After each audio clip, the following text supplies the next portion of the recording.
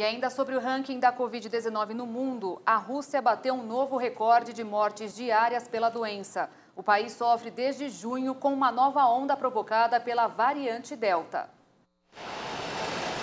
A Rússia voltou a bater nesta terça-feira o recorde de mortes por Covid-19 em 24 horas. De acordo com o governo, neste período, o país registrou 852 óbitos.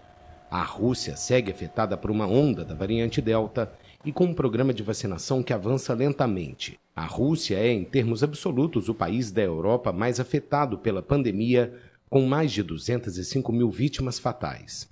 A agência estatística russa Rostat, que utiliza uma definição mais ampla das mortes provocadas pela Covid, calculou em mais de 350 mil as mortes vinculadas à pandemia até o fim de julho de 2021.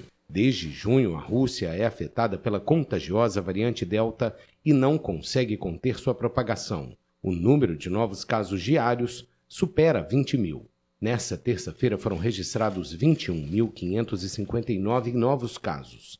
Um balanço do site Gobov informa que apenas 28,6% da população russa está com a imunização completa.